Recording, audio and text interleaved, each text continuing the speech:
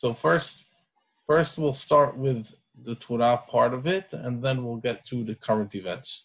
Okay, so obviously this week we have Parashat Meraglim, the Parashat the spies, and we have uh, we have the spies saying something very uh, Moshe, Yehoshua, the spies. They're all centered around a very specific idea.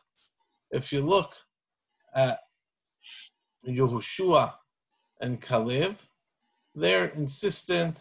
Look, look at the lines they, they say, Im chafetz banu Hashem, otanu el utana lanu. If Hashem wants, Hashem could bring us back to the land. He could help us capture the land. It's all dependent upon Hashem's abilities.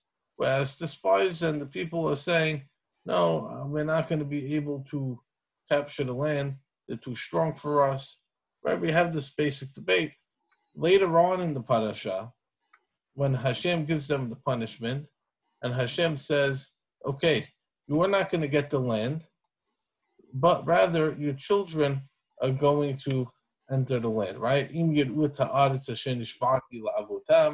None of them are going to get it. And earlier he says somewhere, but the children are definitely going to go in. And then that leads to, oh, here it is. Your children, they're going to win until you die. And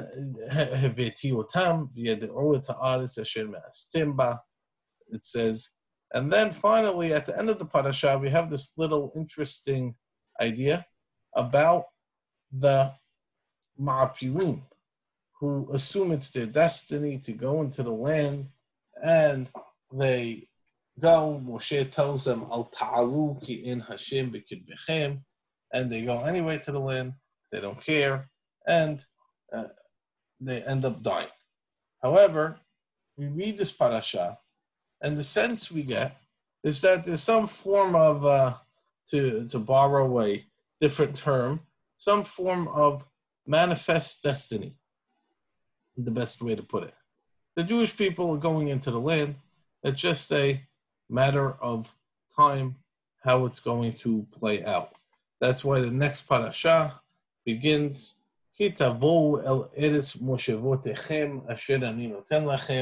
when you're going to enter the land that you deserve, that I'm going to give you.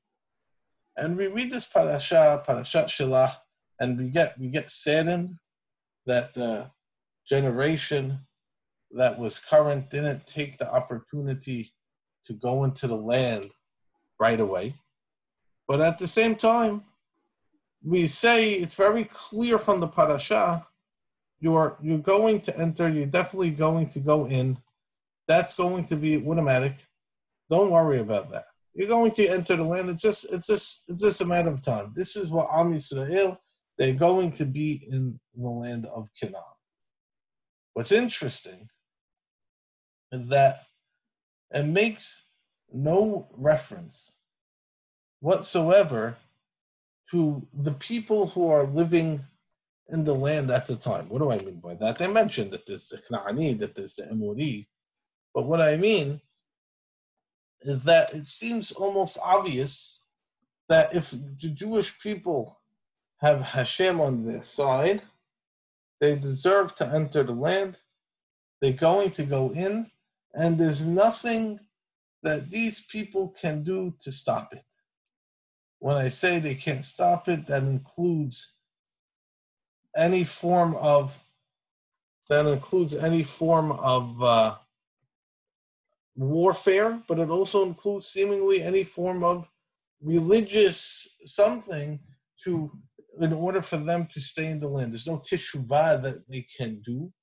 It's decreed upon them that the Jewish people are going to capture the land.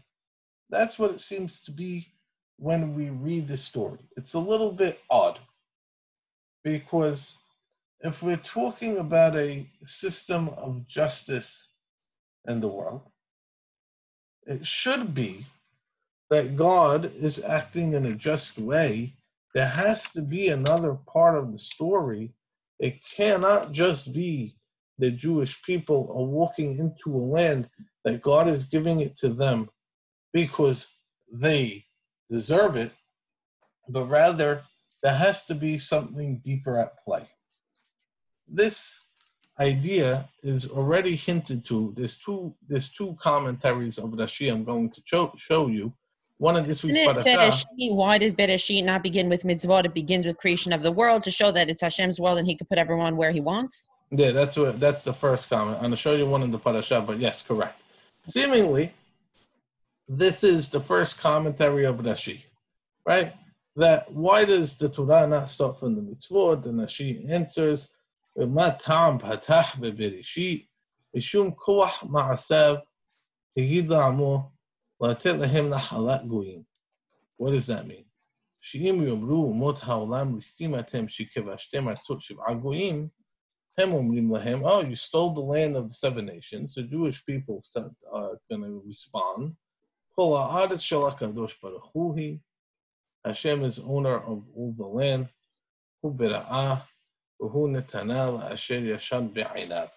He gave it to whoever he so chose. He created it. Um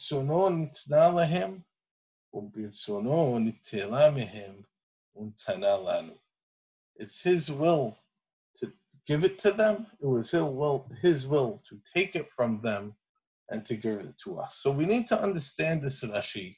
Because this Rashi seems basically, it's possible to interpret this Rashi that this means God giving the land, there's a sense of arbitrary. He liked them, then he didn't like them. He wanted to give it to somebody else, changed his mind, takes his present back, and gives it to a new person almost as if God, you know, couldn't make up his mind.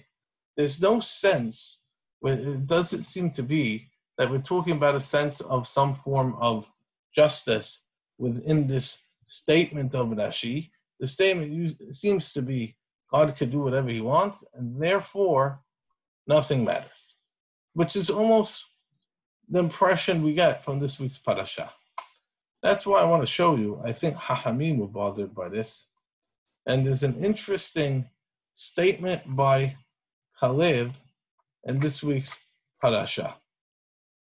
When the Jewish people complain, he says the following: We could go, we could go capture the land. It's very good. Have faith in Hashem. And he says as follows: Sar silam me'alehim, their shade has been removed. Vadunai itanu, Hashem is with us. Al tira'u, don't fear, fear them. Their shade has been removed and Hashem is with us.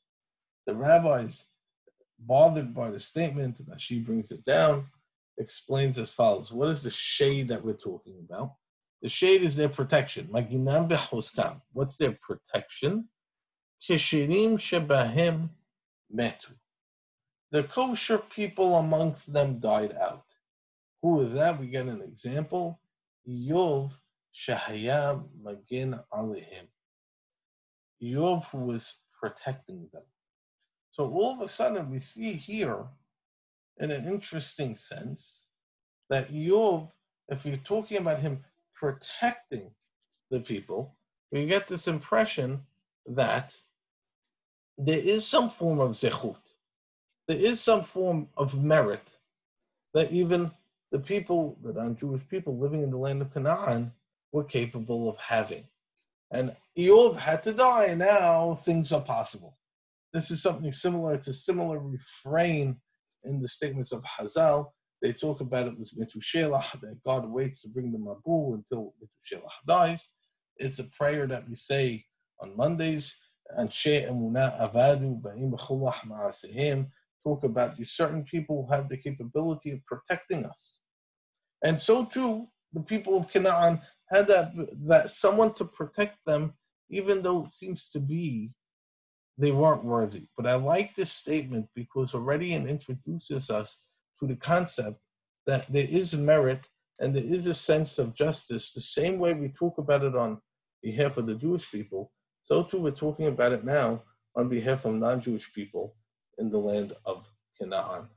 So I want to show you a couple of Pisukim that I think are important for us to keep in mind as we read these stories about what exactly God's plan in the world is and how it operates. It's something I don't think we notice too much, and we'll come back to that Rashi a little bit later in order to explain it better. So we'll start off in Vayikra Perikud He. And Vayikra Perikud He, gives us a whole list of forbidden relations, right? So you have here, here's a whole list of forbidden relations, but look how it's introduced.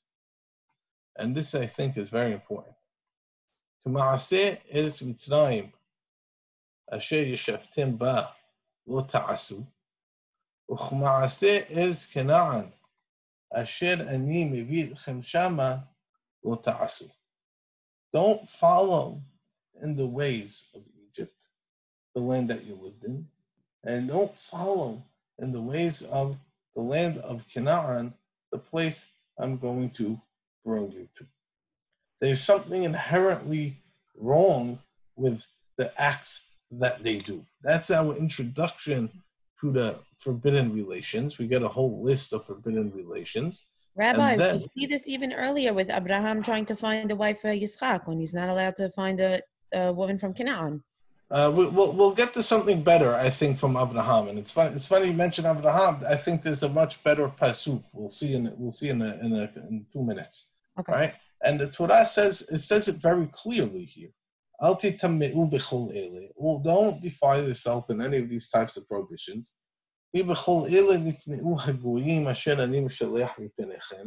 This is how the non-Jews who I'm sending out of the land, this is what they did. And therefore,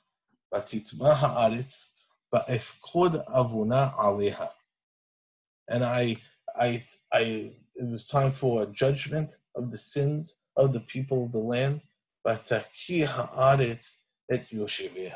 and therefore they got and kicked out.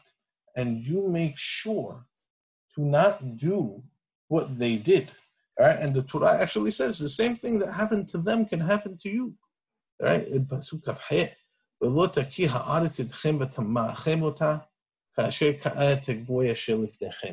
That standard of justice that God attributed to the people of Canaan, God is also making as equal for the people who are going to inherit the land, the Jewish people.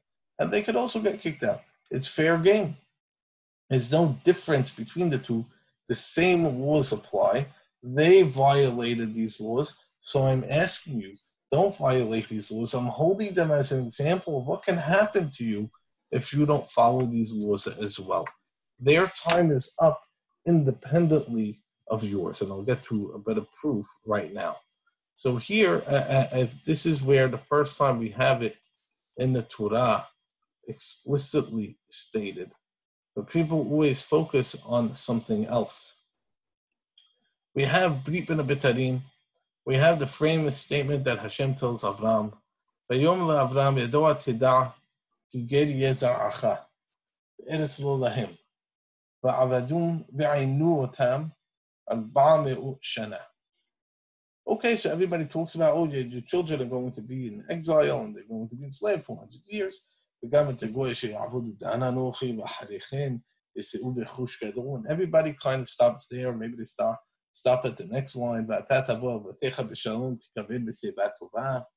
Okay, you're going to die. The slavery is going to start after your lifetime. So they try to figure out what's that fourth generation that's going to return. And now, look at this. Here's the key. Key l'shalim avon ha'imori ad If you're asking why we need to wait for so long, the Torah says very clearly, explicitly, Kilo shalim avon ha'imori ad These people's sin is not yet complete. I can tell you, based on the way they're going, and if they continue to sin, this is what's going to happen to them.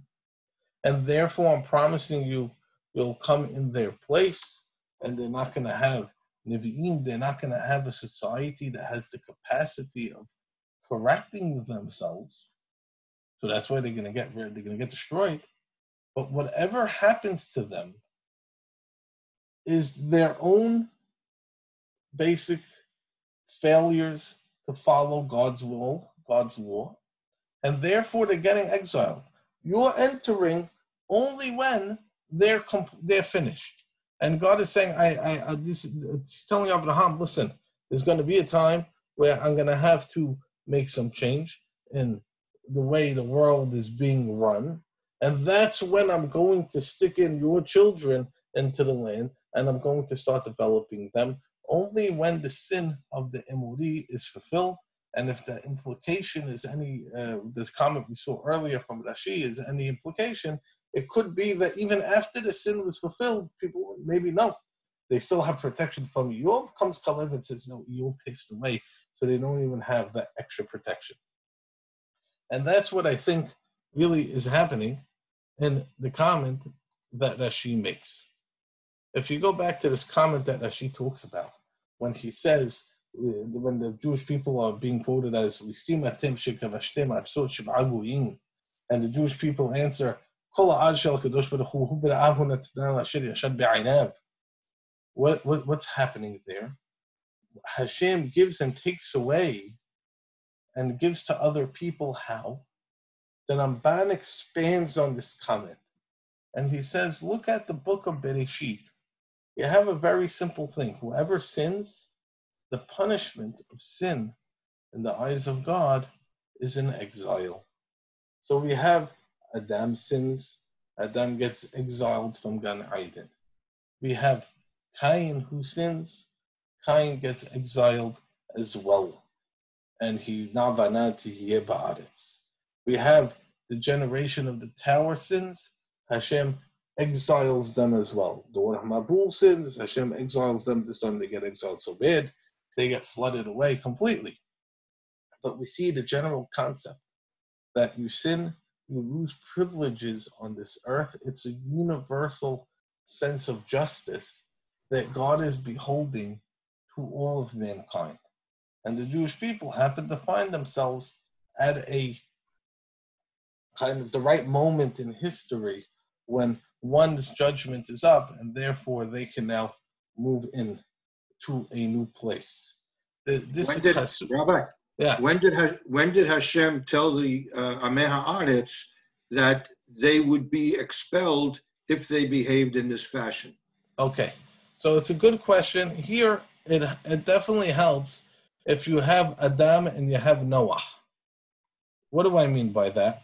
Meaning, if we have people uh, according to Hazal, the Shiva Mitzvot B'nai Noach come from Adam himself. The basic way of behavior that exists in this world. And therefore, there are people who are capable of passing down, of being, we'll call them, if you will, moral guides to the future generations. Whether it's Adam or Noah, what? Right. Whether it's Adam or Noah or any other type of person, now, then they tell them the stories that exist. The stories are part of the national, or the, whatever you're talking about, conscious of the people at the time. That God responds, God cares about your actions, and your actions are going to have ramifications of exile. That I think is the basic the stories of the Torah telling us that. But later on, we see something interesting. Later on, most famous in the story of Yonah, we have a similar concept that what happens in the story of Yonah, God actually directly sends his prophet to the city in order to tell them that on Arba'im Yom, Ninveh, Nehipachit, right? There's going to be, it's going to be very shortly, Ninveh is going to get overturned. So be, be very careful about that, he tells the people. And then all of a sudden, they go and they change their ways. Okay. So here, here, here is something interesting, I think, also, that Hashem kind of tells them specifically in Perik Vav of the book of Devarim, where he's talking about the Jewish people entering the land, and he tells them that Hashem is bringing you into the land, he's very he's very clear about the Jewish people, about their relationship. He's saying Hashem loves you, Shomrot Shivu'ah, and therefore you have to keep the mitzvot. He'll get rid of them. If you're not following his word and you become a soneh of God, then God will get rid of you. And that's a, crouched within the prohibition of Avodah Zarah and not following the ways of the people of the land. He does it one more time where he says, Don't think you are Sadiq, don't think you are righteous. Where is it? Right? Uh, Besikati ani Hashem lareshet et. Don't think you're better and more righteous than these people, but rather, lo besimkatecha uvyoshin bavecha tabal ereshet etzav. Their time was up. Yeah, it could have been you. It could have been anybody else. It's, it's, it doesn't necessarily mean you did something special that you inherited the land. This message, I think, is very important for us to understand, especially when we read Parashat Shelach Lecha where it's this manifest destiny of the people inheriting the land. You look elsewhere in the Torah, you see the same message in different books of the Torah, in Vayikra, and Bereshit, and Devarim. The people of the land were losing it it has nothing to do with the Jews because they sinned. There was a sense of justice. They were deserving of their actions to happen to them.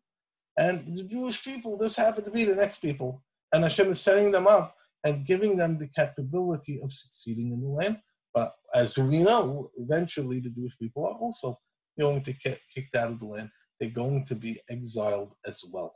This idea, I think, is important for us to understand, especially in today's times because it lays a framework of understanding that God's justice is a universal justice as opposed to a justice that's specific to only the Jewish people. When you create a system in which you talk about the Jewish people uh, deserving, they are God's people, and almost everybody else is automatically not worthy, so then people will feel and think, okay, we're entitled to certain things. We're inherently great. It doesn't matter what we do, how we behave, how we act. We automatically deserve these things. As opposed to when you read the Torah, what the Torah is trying to tell you, we're not any different than anybody else. It's the other people failed, and now God is choosing you. And he had he made a shivu'ati of forefathers. When the other people failed and not a moment earlier, then he'd bring you into the land and he'd give you a try. But you could get kicked out just like them, and indeed that happens within the Jewish history. That's a very, really sobering statement, of facing of reality of the Jewish people. If you want to talk about a sense of entitlement, it really, the Torah going out of its way to wash it away, God's sense of justice is universal in the sense.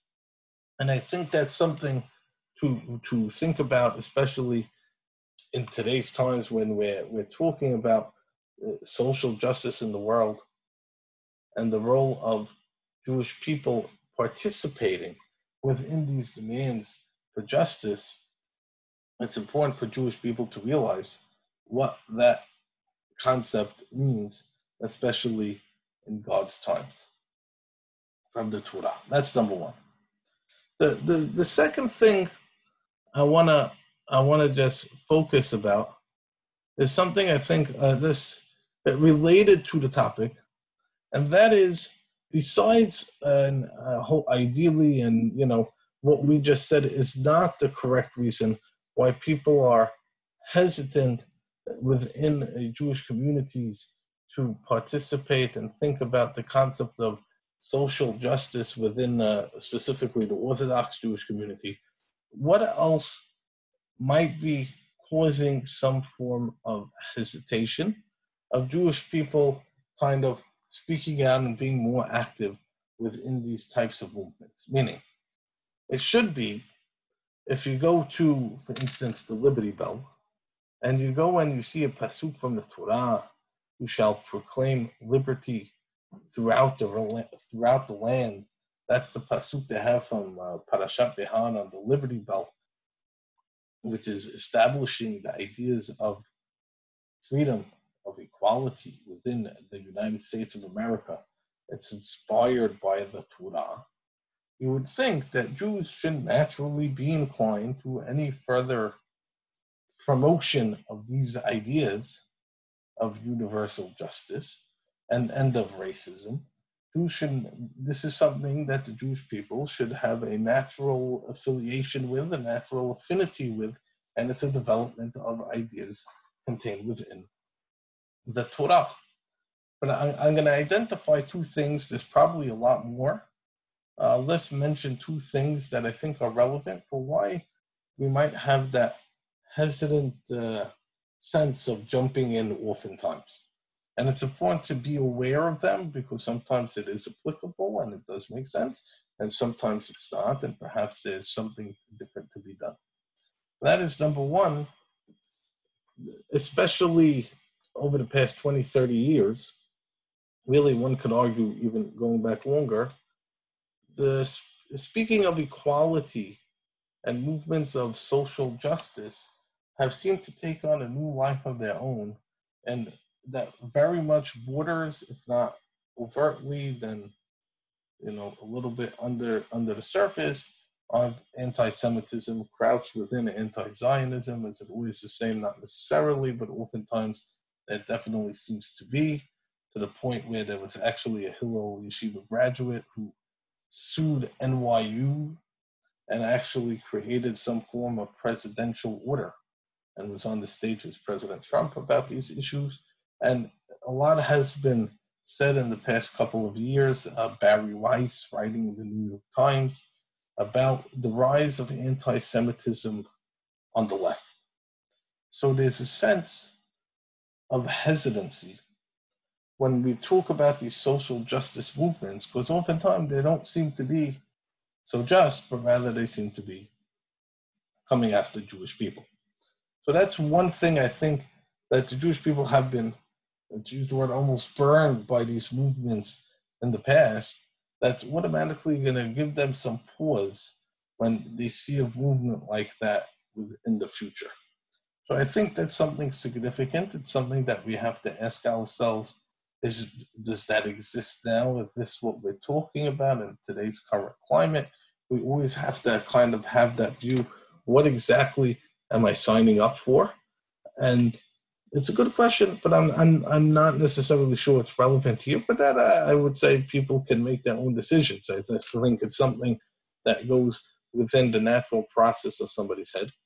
But then the second thing that I think exists is something more interesting as Jews, and I think this is universal to all Amer- the Jewish American experience, we're very appreciative of the civil institutions that exist within the United States of America. For a large part, the civil institutions that exist have benefited American Jewry a great deal. It's very natural for us to feel comforted by the presence of police as opposed to the opposite, feeling threatened. Normally, the threat for Jewish people comes from elsewhere, and the police are the ones who arrive to protect the interests of the Jewish people. We have very good working relationships with them, but really goes throughout anyone who comes from other countries in which the state itself is perpetrating acts of anti Semitism against the Jewish people America is this big sigh of relief that all of a sudden not only is the state neutral, but they're actually supportive and protecting the white rights of the citizens, Jewish people included.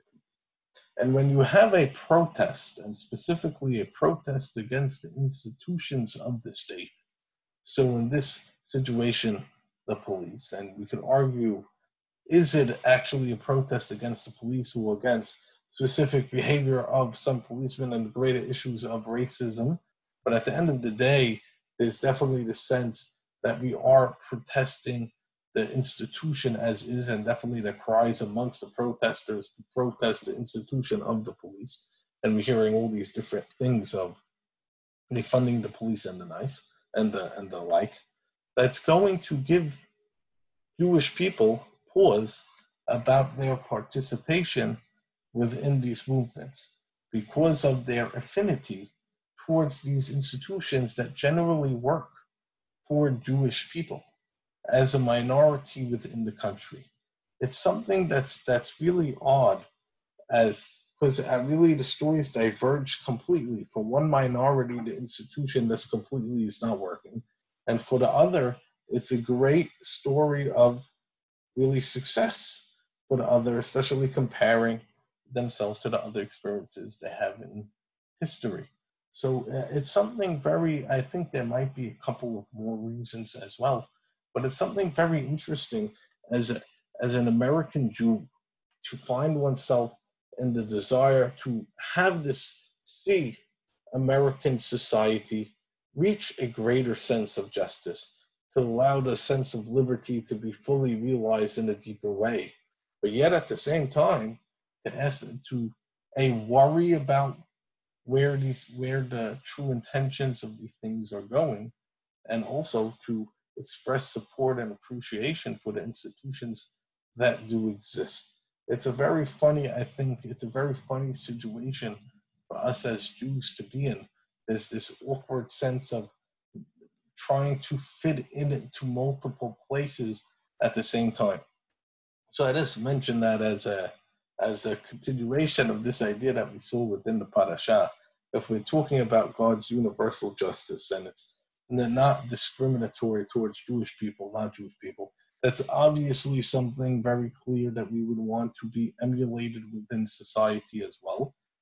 How how that goes about one goes about that as an American Jew could be a more complicated uh, situation in reality, but I think it's definitely something that we have to wrestle with in some way. We have to think about in some way, ask ourselves what makes sense for us to do, what doesn't make sense for us to do, and how, how to try to be part of this conversation about the universal sense of liberty within taking place within our country. And hopefully it's a conversation and not anything else. But yeah. So we'll we'll pause here for today. But if anyone has thoughts, I'd be definitely happy to to hear if anyone has any thoughts about that.